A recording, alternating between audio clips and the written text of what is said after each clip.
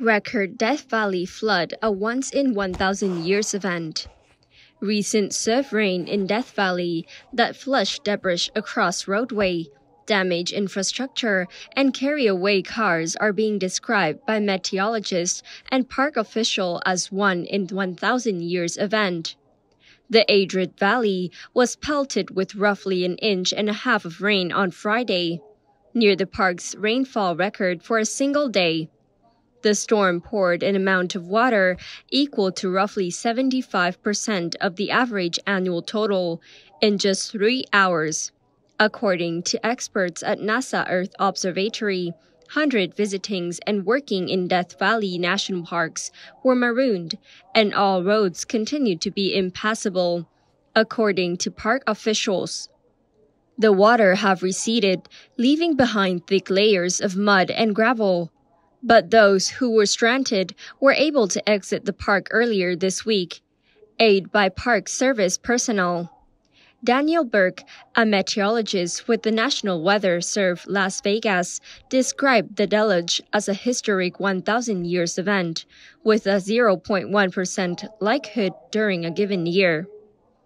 But events like this one, once thought to be exceedingly rare, are on the rise Scientists are finding that weather extremes fueled by climate crisis are becoming more likely in the American West, which continues to be mirrored in droughts.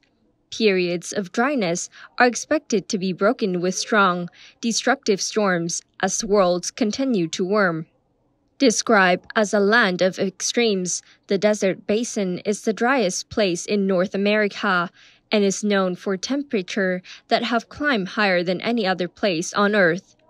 No injuries have been reported, but aerial searches are being conducted by the California Highway Patrol and naval aircraft, the National Park Service said in a statement to confirm that vehicles are not still stranded in remote area of the park. In a statement, the park superintendent Mike Reynolds said it would take time to rebuild and noted that officials were still working to assess destruction from the storm across roughly 3.4 meters, acres, and more than 1,000 miles of roads in the park. While the storm did not break Death Valley all-time record for daily rainfall, it did break record for this time of year as August generally produce just a tenth of inch of rain. NASA satellites were able to capture the storm's effect, showing a belt of blue across a typical brown terrain. This week 1000 years flood is another example of this extreme environment, Reynolds said, with climate change model predicting more frequent and more intense storm.